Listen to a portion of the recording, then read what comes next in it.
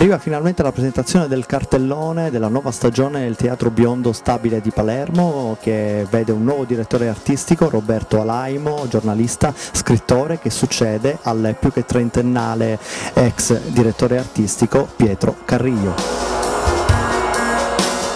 Sul palco in conferenza stampa si alternano Roberto Alaimo e Emma Dante in stretto contatto con lui che sarà capo anche della scuola del Teatro Biondo, il presidente Puglisi, l'assessore alla cultura Giambrone e il sindaco di Palermo Leoluca Orlando.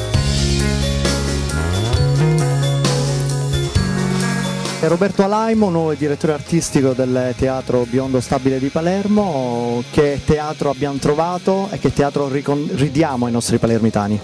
È un teatro molto arrugginito, con grandi professionalità nel personale che si tratta di rimotivare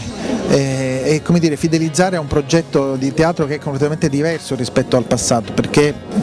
l'idea di un, un, teatro stabile, così come è stato concepito fino ad ora, non a Palermo ma in tutta Italia, eh, è un po' troppo polveroso e non parlo della polvere del palcoscenico che è sacrosanta, ma quel genere di polvere che poi fa venire allergie, per questo poi a teatro va sempre meno gente. Bisogna in, intanto innestare quel eh, circolo virtuoso eh, che partendo dall'allegria di andare a teatro,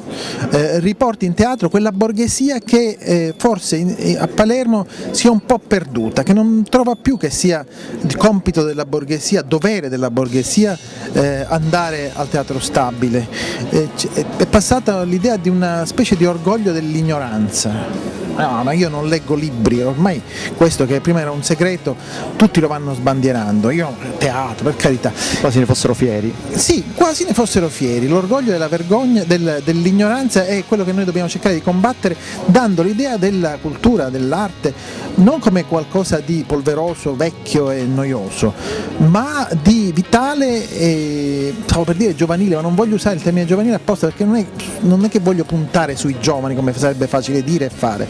io vorrei puntare sulla vitalità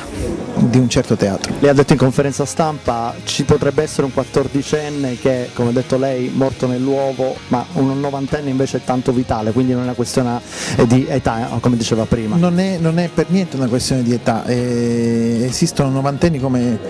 Dorfles che sono novantenni, 102 anni credo che abbia,